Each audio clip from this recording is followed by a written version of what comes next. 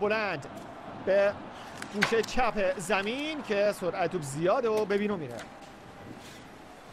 تلاش سون یونگ مین.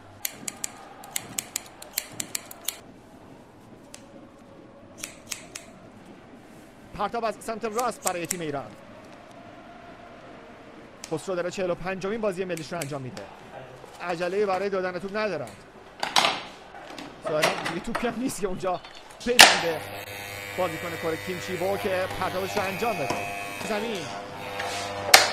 پژمان منتظری توپ رو برگشت میده یک زد حمله برای تیم ایران. شکل می‌گیره. یه اشتباه. حرکت از کوچان نجات فرصت برای کوچان نجات توی